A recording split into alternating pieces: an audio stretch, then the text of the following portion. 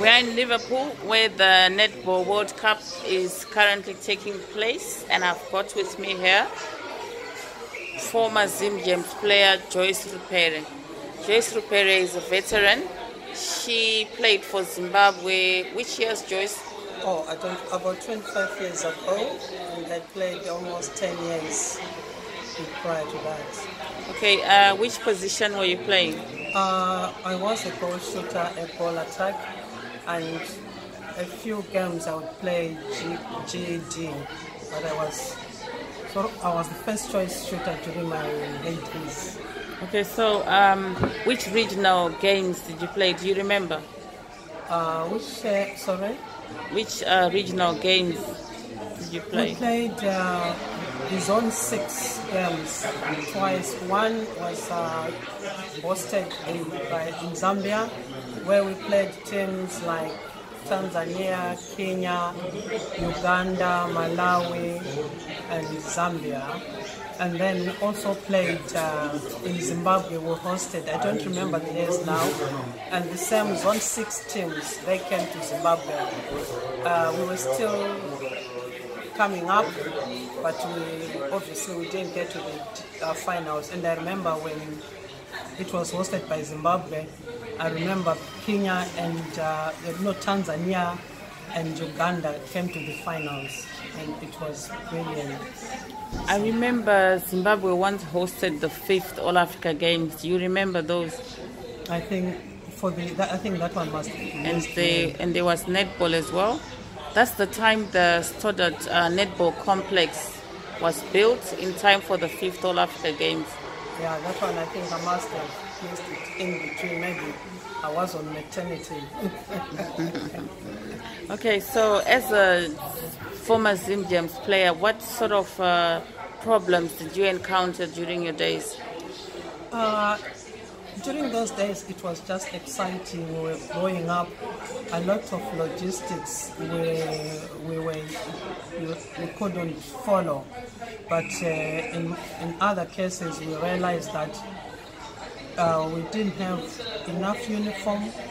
It's like when you are a team, you need the whole uniform from underwear to the top clothes and the shoes so that you feel you are the whole team.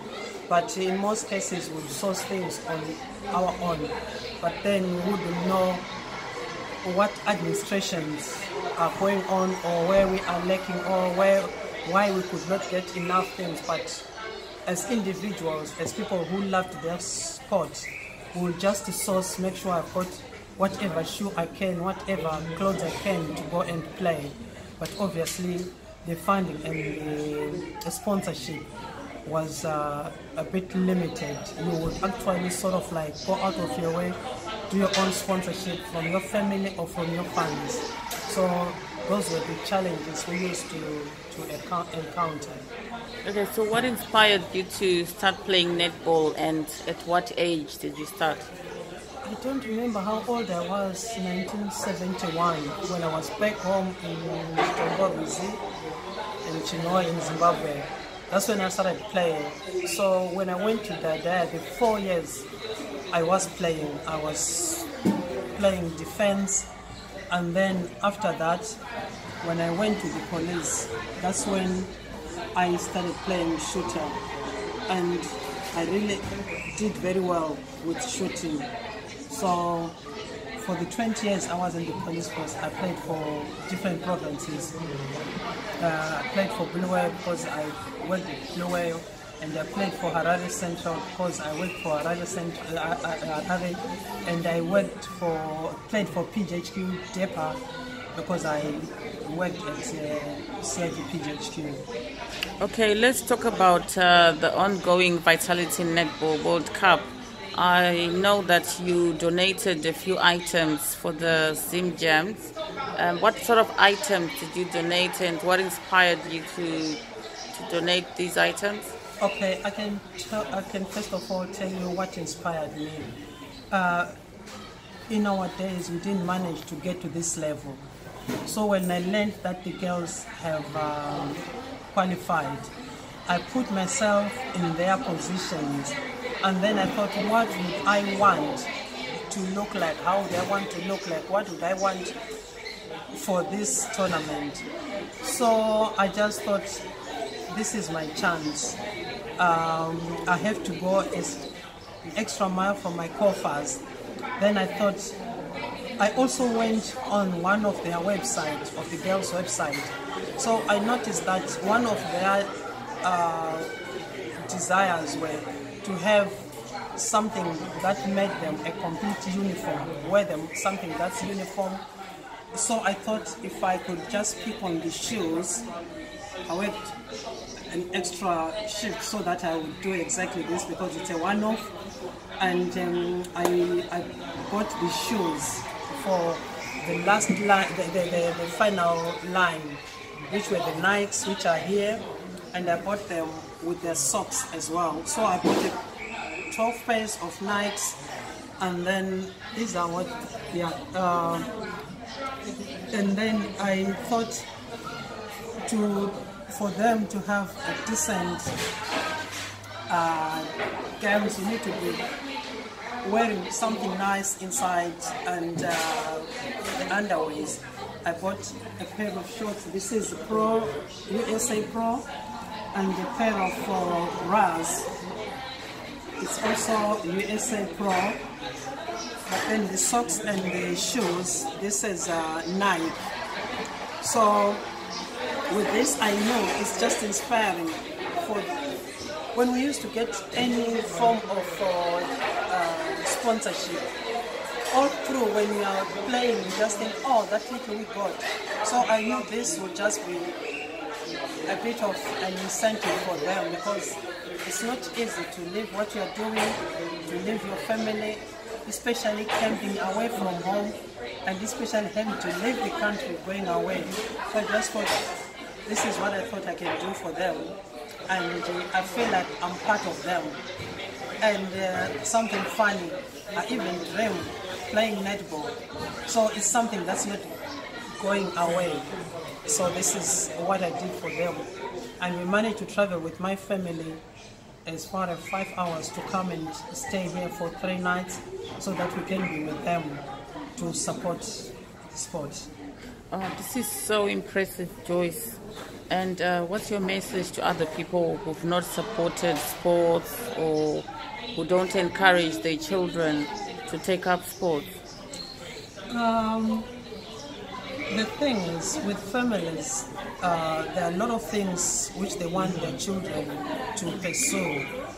Uh, at the same time, people uh, run their families differently. But I would encourage, if you see that your children or even your friends' children are interested in sport, just come up with any help of any information, any stories of su successful stories of players, or even like this, just to think, okay, uh, if somebody can come up 25 years later, that means sport is not something funny.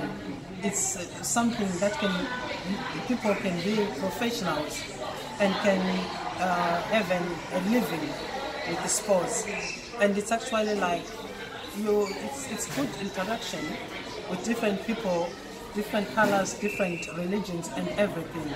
So that's that's something that I thought. Uh, if people can just come in, you don't have to do much. Even capping to support, it does help because sports helps in a lot of things, uh, like I say, interaction and then even financially. Okay, do you have any plans to go back into netball? Um, at the moment, I have. Given the opportunity, I would be very happy to be part of what whatever uh, netball organization is there because uh, I've got the little information I've got and uh, I've played along for a long time and I know I can inspire somebody or I can help. And I can maybe, especially as somebody who has been a player for a long time, I can be standing for the players so that okay their wishes or whatever they, their needs can always be looked into and so that when they do their games at least they are motivated. Okay, Zimbabwe faces Northern Ireland tomorrow. Imagine yourself playing out there. What goes on through your mind before a major game? Uh, what's in my mind before a major game is a win-win. Before I get in, I just record a win. And right through, it doesn't matter what's happening, the final whistle is the one that determines. It's just like fight on, fight on, fight on. Okay, so what sort of support do you expect from uh, people sitting on the terraces if you are playing in a game? Uh, it's just like if I just hear that it's my supporters, and especially us here, people have been actually motivated. They just came in their hundreds and the flags are flying. In Gomayacho, people are just playing drums and singing the songs. So that's the best thing you can do uh, for the, to send the message to the players because you can't communicate directly. But that's a good communication. They will know that we are having support and uh, they can always try to pick up and do more because of the support. Okay, thank you so much. Is there anything else that you'd like to add on? Yeah, what I would just like to add on is, especially for the players, uh, you don't have to be part of the admin if you are a player. Be a player. Be motivated. Why you are going to the game is because you love the game. And uh, the most important thing is discipline. Follow the rules, follow the just follow follow the instructions. And if you are in the game, just follow the game, follow, even if you know that that whistle is not the right whistle for me, but the umpire's word is final. So discipline is the best thing you can ever give in a sport. Okay, I believe the Zim Gems will be traveling back to Zimbabwe on the 23rd. What sort of advice would you give them when they get back to Zimbabwe? What sort of things can they do to improve their skills, to improve their netball, and to develop? Yeah, they are actually in the right track because uh, I watch their games, playing very well. They are meeting all the standards, but what they can only do is to make sure that they concentrate on the game. They concentrate on their game, they concentrate on their skills. They just do the best they can. What they want to do is to be a better player. They must always want to be a better player. Don't just think that, okay, at least I've played one uh, World Cup. It's not enough. Be a better player. Just keep on going and just wish them the best of luck. Okay, I spoke to a few ladies who are supporting the Zim Gems here in the UK, and they spoke about support such as physiotherapy, the use of gyms, and uh, more fitness. Um, did you get these kind of things when you were playing as the Zim Gems? Uh, when I was playing, uh, there was none of that when we used to do our training, it's just exercise and the like. But um, I think that is a very good, that was a very good input for us. If we can get to a point where we know they've got a gym where they can go, and maybe if we can manage to give them some items to use, some machines to use, because there are a lot of machines to use, some bicycles, some whatever to use for for, for their for their fitness. Because running alone is not enough, uh, those exercises is not enough, but they need the gym and also the person who is in the gym, who is trained, who knows how to tackle all sprains or all injuries and everything. And also, I don't know if they could have a doctor, a, a, a physician to be with them because it does help. they don't have to go, they can go to the hospital, but already the first things have been done there to that can actually prevent them from having uh, an injury to to go on and unnoticed because some injuries can go unnoticed or you, might think that it's just a sprain or something bad, bad has happened. But when there is a doctor there, they actually diagnose something and then they are helped. They get the proper help, get the proper assessment. A team doctor, if we can afford, will be the best to have. Okay, with the high level of publicity and support the Zim Gems have received, shall we look forward to seeing more Zimbabweans, especially in Zimbabwe, supporting netball? Because I believe a lot of support um, in sports in Zimbabwe is on football. Do you, do you think it's going to change things around for netball? Um, yes, definitely it will, but I think we need to do a lot of talking. We need to do a lot of education because we've always known that the only sport in, in Zimbabwe is football and then athletics. Netball was just silent. But then I think with this, the, the, the, the, first the team to, to compete in a, in a world competition, that means a lot. So I'm quite sure people will come and rally behind them. And um, one of them, definitely, I'm, I'm not going to be left behind because I'm so excited, I'm over the moon.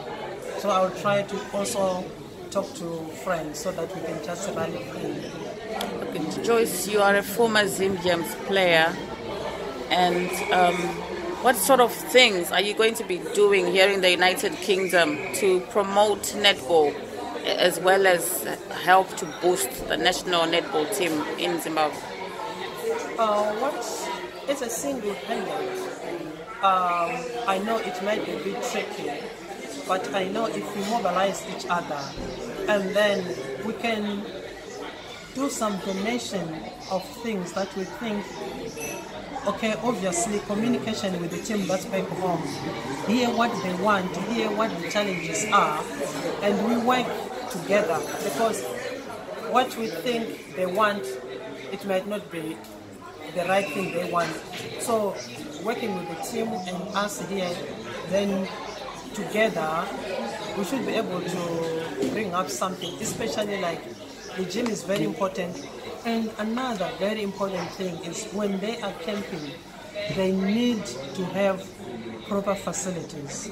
They need to have enough so that one their minds are free their their health is not compromised uh, the medical team is there during the preparation so that also dis- their diasporans who are interested in the game can always come in and uh, communicate and hear their what they want and uh, how they want us to chip in. Okay, which team did you play for and which years did you play for the Zim Gems? Um, we had not identified a name. This gems is just something that we saw now. Um, I You were known as the Zimbabwe national netball team. yes, it was the Zimbabwe national netball team. To be honest, with you, to, to give you the years, I have lost count. But the last game which I uh, played, the Inter Interpol Games in South Africa, I'm quite sure it was 1999. So prior to that, about 18 years I was in the force, I was playing netball.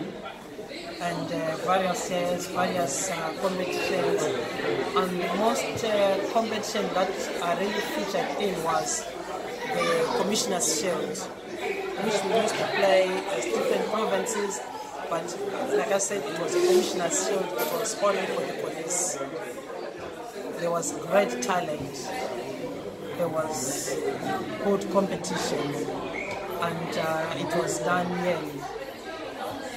Okay, you played for the Zimbabwe Republic police team. Were you based in Harare as well? Yes, I was based, I, I played in Harare and I played uh, at some point I was in Bulawayo.